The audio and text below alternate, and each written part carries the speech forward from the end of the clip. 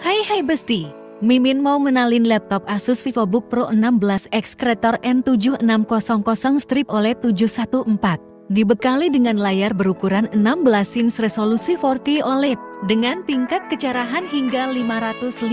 nits dan 100% DCI-P tricolor gamut, ditenagai oleh prosesor Intel Core i7 generasi 11 dan grafik Nvidia GeForce RTX 3050 diperkuat dengan memori RAM sebesar 16 GB DDR4 onboard dan storage SSD 1 TB M.2 dilengkapi dengan backlit keyboard